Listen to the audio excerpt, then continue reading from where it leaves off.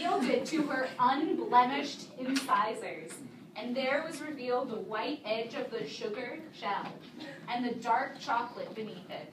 It was then that they heard a woman calling up the stairs from the floor below, and then she called again, more insistently, from just along the corridor, and this time the twins recognized the voice, and a look of sudden bewilderment passed between them. Where's the bewilderment? Bewilderment. Bewilderment. Twins! Twins! you are ruining the scene! Lola was laughing through her mouthful of Amo. Uh-huh. Wine. Is this Lola? You dunce. Okay. There's Betty looking for you. Bath time. Run along now. Run along. And Scott, can we just do this one more time?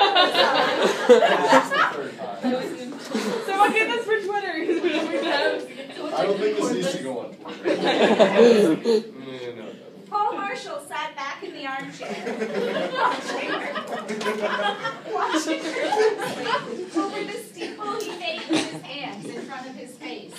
He crossed. Matt, you gotta do the uncrossed tongue thing. legs. Yeah, you're gonna be. Then he took